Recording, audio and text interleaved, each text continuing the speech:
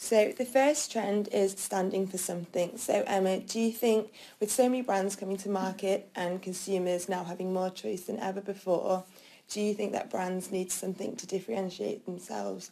So for example, um, Starbucks having their My Starbucks idea, offering more than just a product or a service. I think they definitely need to stand for something different and they really need to kind of put their head above the parapet and almost have their own brand story in a way. Mm-hmm. So one really good example I love is Clark Shoes. So they're a real heritage brand. Um, they were been around for years, but you know they were kind of seen as a bit fuddy-duddy. So they kind of actually really focused on the heritage side, but made it trendy and actually kind of went back to the archives, bringing back products, and then they did some really clever things with content marketing where you could see timelines of okay. of shoe trends and things like that and you can obviously translate that into PR as well so Definitely. that's a really good thing and then Hallmark which is a brand I work with through my work at Finn PR um, mm-hmm. Hallmark cards they are really keen to focus on education this year so okay. the kind of relationship between card writing and reading and then helping kids like with literacy skills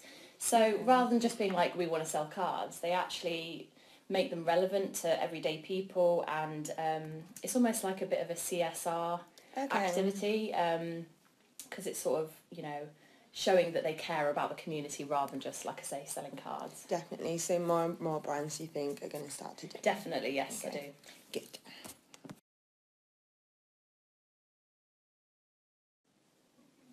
And question two is, influencer marketing. So do you think this is important for brands in 2017? Because obviously there's been a decline in the trust for advertising and traditional media as well.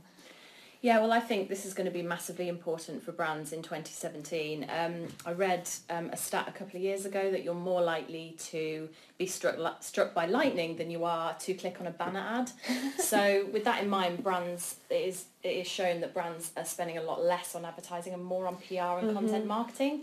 Definitely. So um, one example of how brands are doing this is obviously with the rise of influencers and bloggers and things like that and people like Joe Wicks are kind of taking over mm-hmm, the world. Definitely. Brands are actually copying their relaxed style on social media. So you go on Instagram stories and you look at what M&S are doing mm-hmm. and Waitrose and they're doing these really relaxed kind of videos that are almost yeah. like what, what a blogger would would actually create. So I think they're trying to mirror that. So yeah, I do think it's really important. So you think if you don't have a plan, an influencer marketing plan set up for 2017, then you're losing the game, really. I think it depends on the brand that you are because I mean, if you're if you're a consumer brand, then yeah, definitely. Yeah. Um, I wouldn't say that if you're it's a B two B thing, it's as important. But okay. if, if you're if you're selling a food product or a fashion item or something like that, you definitely need to be yeah, looking definitely. into it. Definitely. Okay.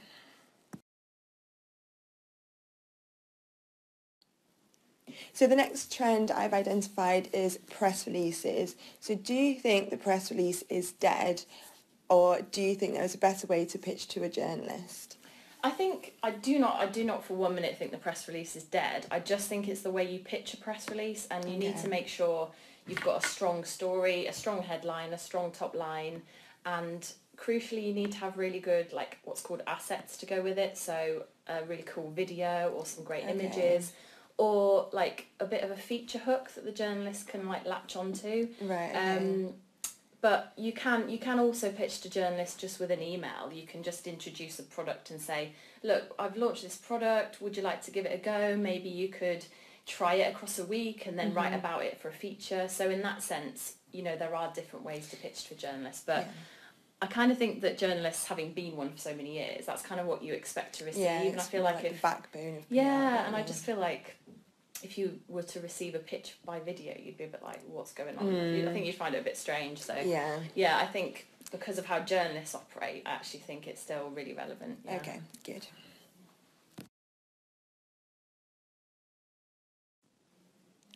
The fourth trend I've identified is reputation management. So Emma, do you think this is becoming more important with the rise of online reviews and websites such as TripAdvisor?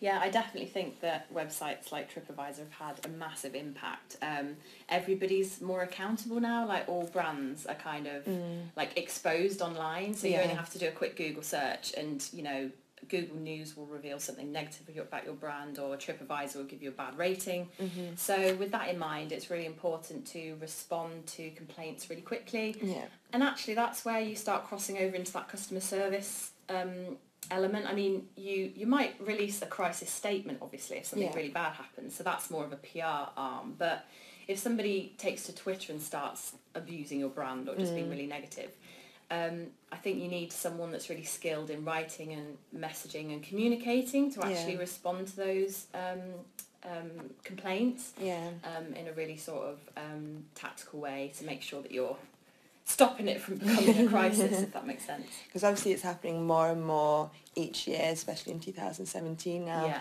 That's the first place people go if they want to complain about it. something. Yeah, that is exactly it. I think Twitter especially is is probably Yeah. the most powerful place for people to actually complain. yes, definitely. yeah.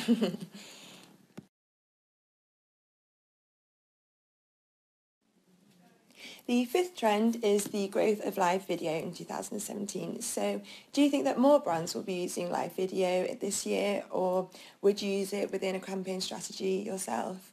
Yeah, I mean, obviously, um, Facebook Live video has been around a couple of months now, and that's obviously completely taken off. And Instagram has obviously got its live video function now as well. Mhm. So, and loads of influencers uh, are using that. So, going back to my influencer Yeah. point, actually, brands need to be kind of going where the influencers are going, Yeah. otherwise they'll miss out. But um, I'd, I'd definitely recommend it for a client, especially a consumer client again, because um, like for example, a food brand that I work with, we recommended they do um, create their own mindfulness sessions um, related. It, it does relate to the brand. I won't go into who they are, but because one thing that's really popular is um, we noticed is Facebook live videos HIIT training. People can tune in at six a.m. and actually do a live HIIT Ah. session. Okay. So we kind of thought if a brand could do like their own version of that, so like a live mindfulness session Yeah, at that's a good lunchtime idea. while you're eating your lunch or whatever Yeah, you know, you can actually find those little niches that are relevant to your brand for live video. definitely. I think that's a really good idea. I might use that myself.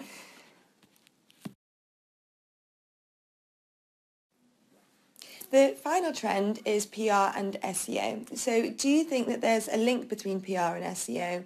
And also do you think that PR practitioners need to be more clued up about SEO? I definitely think that PR professionals need to learn more about SEO because of the rise of content marketing. So um, my first sort of job in PR was head of content, Okay. having been a journalist, and my role was to work with brands and kind of improve their presence online. So you can do that through blogs and through like your social media presence and video and things like that. But it does massively cross over into PR because what how you present present yourself online is a mirror image of what you should be doing in PR and yeah. they should be quite integrated. So, and if you have really strong messages and really great content um, online that a PR professionals created because they're the Mhm. ones that are best placed to do it, that will actually boost your SEO on your website because Right. the content you're publishing will be on that website and Yeah. kind of helping your SEO. Okay. Um, and video, I should just mention, is one of the key things for boosting SEO as well because so many people are watching video nowadays online. So. okay.